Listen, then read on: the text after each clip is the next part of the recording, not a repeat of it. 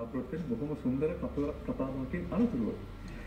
ඔන්න දැන් බලන්නකෝ අපි මීළඟ විශේෂයෙන් කතා කරන්නට යන නිර්මාණය කොතරම්නම් සුන්දරද කියලා. දැන් මට පුංචි ගැටලුවක් තිබුණා ආරම්භයේදීම මේ අපි වැඩසටහන පෙළගැස්ම කරනකොට කුෂන් කවර සිතුවම් නිර්මාණය කළා නම දාවලුනේ. අර පුංචි ගැටලුවක් තමයි මේ කුෂන් කවර කියන්නේ එක දෙයක්. සිතුවම් නිර්මාණය කියන්නේ තවත් දෙයක්. හැබැයි දැන් නම් මගේ ගැටලුව විසඳලා තියෙන්නේ මම හිතනවා අපිට පුළුවන් ඔබේ ගැටලුව මේ වෙලාවේදී විසඳන්නට. හරිම අපූර්ව නිර්මාණයක් ගැන කතා කරන්නේ දැන් හැම කෙනෙක්ම තියෙන හීනයක් තමයි තමන්ගේම කියලා අපිම අපූර්ව නිවසක් නිර්මාණය කරගන්න එක. ඒ විතරක් නෙමෙයි තමන්ගේ නිවස හරිම සුන්දර තැනක් කරගන්න ගැන එක ගැන බොහෝ දෙනෙකුට මේ හීනයක් තියෙනවා. ඒ හින්දා අද වෙනකොට නිදිය පෞරාණික පෙනුමක් තියෙන පෞරාණික වටිනාකමක් තියෙන ආකාරයට බොහෝ දේවල් නිර්මාණය කරගන්න ඉඩියක් අපි දැකලා තියෙනවානේ. එතකොට කුෂන් කවරයක් අපිට ඕන විදිහට නිර්මාණය කරගන්නේ කොහොමද? මේ කාරණේ ගැන අපි තාමත් අපූර්වට කතාවක් කරන්න සූදානම් ඉන්නවා අපගේ මානව ගමගේ විභාගයත් එක්ක ආගන්නකොට. අයිබෝයි. මානව මහත්මිය දැන් ඔන්න මට තිබුණ ප්‍රශ්නේ නම් මට විසඳුණා. අපි බලාගෙන ඉන්න පොඩි ප්‍රශ්නයකට මොකද්ද මේ කුෂන් කවර සිදුවම් නිර්මාණය කියන්නේ කියලා. අපි පොඩ්ඩක් කියන්න පටන් ගමු. දැන් මේක සිතුවමක් තමයි. ඒ කියන්නේ අපි මේ චිත්‍රයක් විදිහට රෙද්දක් මත නිර්මාණය කරනවා. ඉතින් ඒක අපිට කුෂන් කවරයක් සඳහා රෙද්දක් සඳහා ඇඳුමක් සඳහා ඕනෑම දෙයක් සඳහා පාවිච්චි කරන්න පුළුවන්.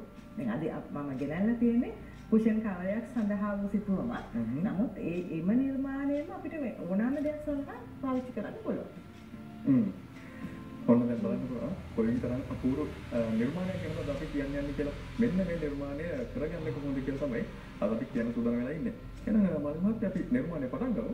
කරන ගමන් ඒක ටික කතා කරමු. දැන් මම අවශ්‍ය දේවල් කියලා පටන් ගන්න මේ සඳහා බොහොම සුළු වියදමක් යන්නේ. අපිට අමුරෙදි අවශ්‍යයි. බසුන්ම සඳහා මෙතන මම පාවිච්චි කරලා තියෙන්නේ අමුරෙදි. එතකොට රෙදි සඳහා භාවිත කරන තීන්ත. දැන් තීන්ත වෙළඳපොලේ තියෙනවා.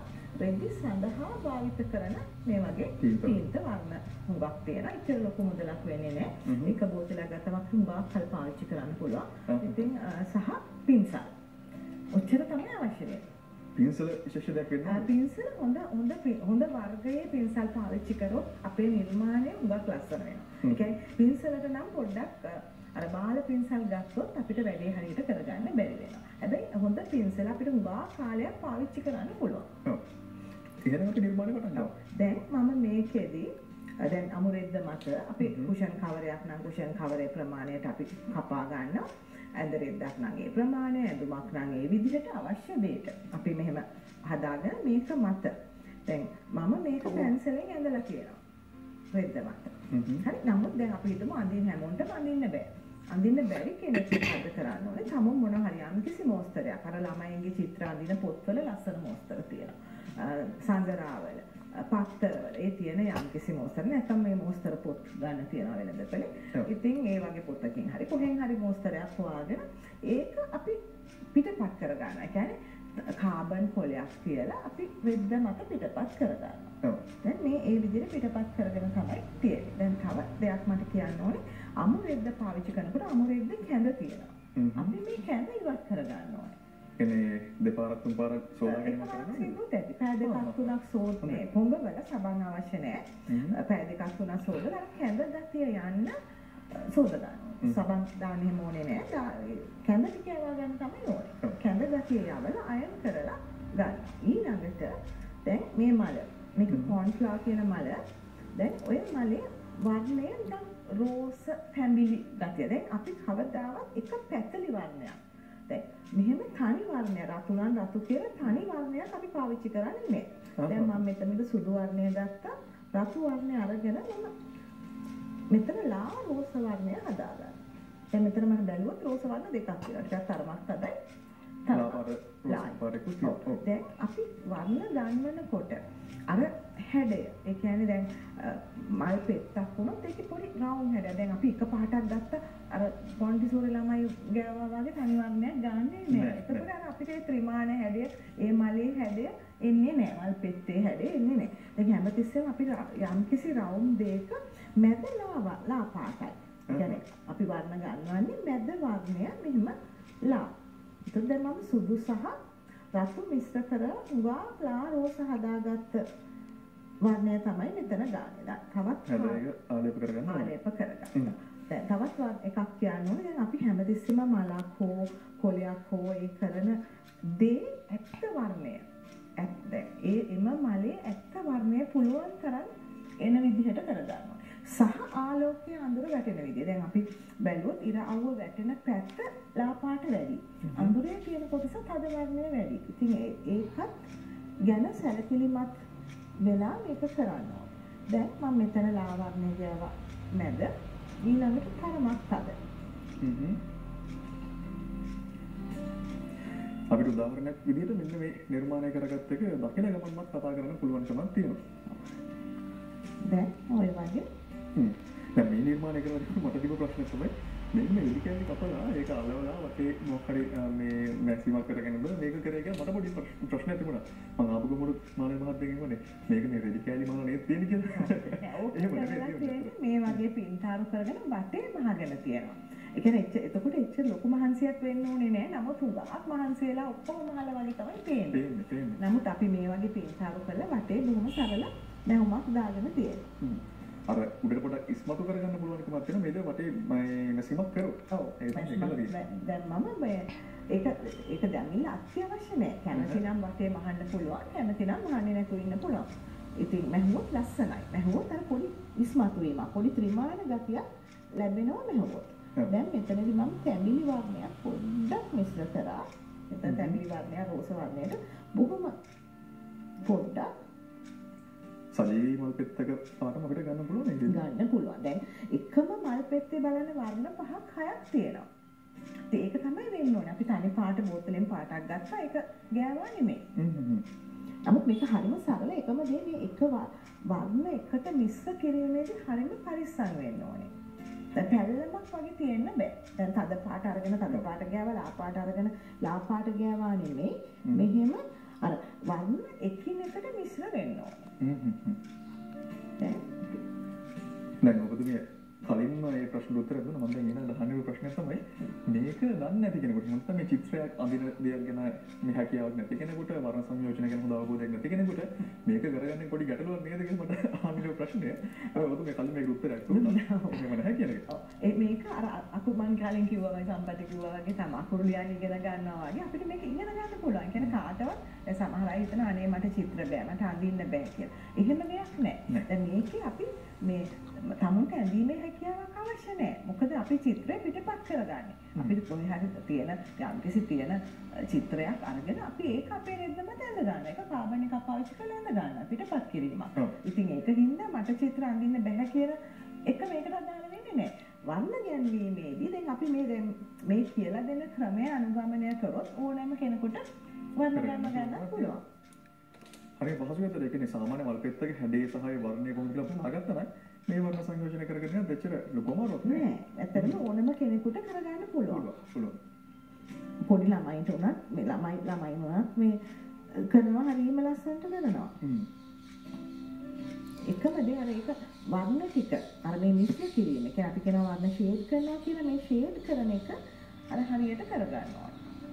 ඔන්න මේ මල් පෙති දෙකක් ඉවර වෙන ළඟයි.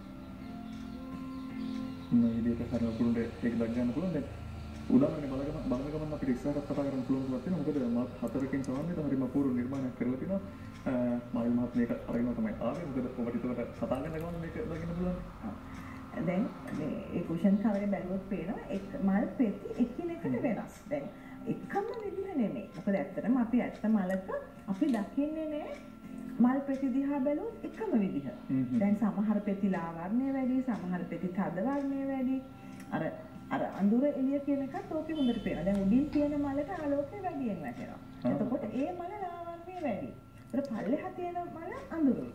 එතකොට ඒක පොඩ්ඩක් තද වර්ණය වැඩි. අර. ඒක අපි අර ඇත්ත ස්වභාවික දෙයක ඇත්තටම ඡායාරූප දිහා බැලුවම අපිට පේනවා. අන්න මේමයි මේක තියෙන්නේ කියලා. ඉතින් ඒ වගේ බලලා අපේ වර්ණ ගැන්වුවොත් අපි පුළුවන් තරම් ස්වභාවික විදියට කරගන්න පුළුවන්.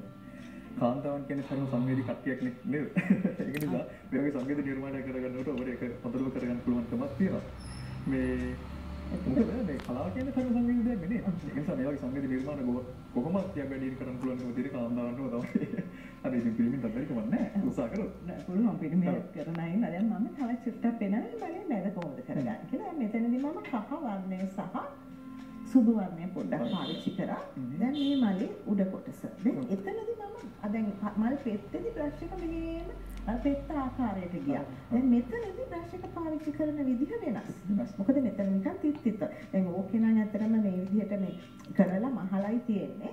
නමුත් මම දැන් මේ පෙන්නන්න යන්නේ මහන්නේ නැත්තම් කොහොමද මේක කරන්නේ. හදන ටික වෙලාවක් යනවා දැන් අපි. කාලයක් තියෙන තව විනාඩි දෙක තුන ඒක නිසා අපිට මේ විදිහටම නිර්මාණය කරගන්න පුළුවන්. දැන් කොහොම? හැබැයි වෙනම මේ සුන්දරත්වයක් තියෙනවා මේක මහගත්තු තින් නේද? ඔව් මහගත්තොත් ලස්සනයි. ලස්සන. බැරි. නමුත් දැන් අපි හිතමු අපි මේක වෙළඳපළ සඳහා මේ නිර්මාණය කරනවා කියලා. එතකොට අපිට එතකොට වියදම අඩු කරගන්න ඕනේ, කාලය අඩු කරගන්න ඕනේ. එතකොට අපිට මේක මහන්නේ නැතුව කියන්නත් පුළුවන්. පුළුවන්. දැන් ඊළඟට තියෙන දේ තමයි මේ නිර්මාණයක් කළා මේ Taman හැඩවල බලන්න අවශ්‍යතාවයක්වත් ඇත්තේ නැහැ. මොකද බොහෝ විට ගුණියක් දවල් කාලේ එහෙම නැත්නම් මේ නිවසේම වෙලා ඉන්නවා එහෙම මේක යම්කිසි ස්වර්ණකයක් විදිහට පාවිච්චි කරන්න පුළුවන්. මේක මෙහෙම බොහොම හොඳ ස්වයං රැකියාවක්. හොඳ මොකද ආදායම් මාර්ග වෙන්න පුළුවන් එක. ඔව් මොකද මේකට යන්න වියදම බොහොම අඩුයි. බොහොම මේ අමුරෙද්ද සහ මේ පේන්ට් බොහොම පොඩ්ඩක් තමයි අපිට වියදම වශයෙන් යන්නේ. පොඩ්ඩක් මහන්සි වෙන්න ඕනේ. ඒක විතරයි. කියන්නේ මේකට ඇත්තටම ලොකු මහන්සියක් වෙන්න ඕනේ නෑ. නමුත් අර කරන නිර්මාණය අවසන් නිමාව හරිම ලස්සනට තියෙන විදිහට කරොත් මේකට හොඳ වෙළඳපළක් තියෙනවා. මාර්ග මතේ තව විනාඩි විතර කාලයක් අපිට. අපි ඊටු ටිකත් ඉක්මනටම කරගමු. දැන් මලේ මැද කොටස මම කරලා කරලා තියෙන්නේ. දැන් ඒකෙදි බ්‍රෂ් එක මම පාවිච්චි කරේ නම තිත් තිත් වගේ තිත්. දැන් ඔය ආකාරයට තමයි මලේ මැදම හදන්නේ. අපිට කොලයක් කරගන්න වෙලාව තියෙයිද? වෙලාවක් තියෙනවා අපි ඉක්මනට කරගමු. කොළ ටික සහ නාරදියත් ඔය විදිහම තමයි නේද? ඒ විදිහමයි. දැන් කොළවලට කහ සහ කොළ වර්ණය අහහ. මම මේක ඉක්මනට පෙන්නන්න. කහ සහ කොළ වර්ණ. කහ සහ මොකද අපිට ලා කොළ හදාගන්න කහ සහ කොළ වර්ණ එහෙම පාවිච්චි කරනවා. දැන් අර නීතිය තමයි. දැන් මං කිව්වේ කලින් අපි කිසිම දෙයක් පැතලි වර්ණයක් පාවිච්චි කරන්නේ නැහැ. දැන් කොළ ගැන කතා කරමු නිසා තවත් නිර්මාණයක්. අපි ඒකත් පෙන්වන්න පුළුවන්. මේක නම් ටිකක් අර වැඩියෙන් අපිට කොළ දක ගන්න පුළුවන්. ඒතකොට කොළයක් නිර්මාණය කරන්නේ කොහොමද කොළ සහ කහ වර්ණය වගේතා කරලා කියලා අපි හොඳට දක ගන්න පුළුවන්. මෙන්න මේ නිර්මාණය. හොඳයි. දැන් ඔය වගේ මේකෙත් අර වගේ අර මල් පෙත්ත පාට කරපු ආකාරයමයි. අර වර්ණ එකිනෙකට මිශ්‍ර වෙනවා. පැල්ලමක් වගේ මෙන්න මෙතන තදයි මෙතන ලායි එහෙම කියලා කියන්න බෑ. ඔව්. මේ වගේ නේද? නෑ නොපමාන නෑ. දැන් මම මේ ඉජර්ස් අපිට ඉජර්ස් හිමින් හදා ගන්න ඕනේ. අපි ඒක මම කරන්න නෑ මම මූලික දේ කරලා පෙන්නුවේ. ඔව්. දැන් අපි දැන් මල මල් පෙති මලේ මැද සහ කොලයක් කරන හැටි ඉගෙන ගත්තා. ඉතින් මෙච්චරයි මේක ඇත්තටම ඉගෙන ගන්න තියෙන්නේ. මේක තියෙන්නේ. මහලු කමාරුකමක් නෑ කිව්වොත් එහෙම. එතකොට නාරදියට මම වර්ණ මේ කොළ සහ දුඹුරු වර්ණය මේ කොලේ පාවිච්චි කරා විදිහමයි. කොළ සහ දුඹුරු වර්ණය අරගෙන අර ඒ වගේම බ්ලෙන්ඩ් කරලා ගන්නයි තියෙන්නේ. ඒක අමාරු වැඩක් නෙමෙයි. මේක දිහා බැලුවොත් අපිට පේනවා. මෙන්න මේ නිර්මාණය තමයි අද දවසේදී අපි කරගත්තේ. ඒක නිසා වුණ හරිම සුන්දර නිර්මාණයක්. අපිට කාලයත් අ, ගත වෙලා තියෙන නිසා එහෙනම් අපිට මේ විශේෂයෙන් සමගන්න තියෙන මානවිකම කියනවත් නේ.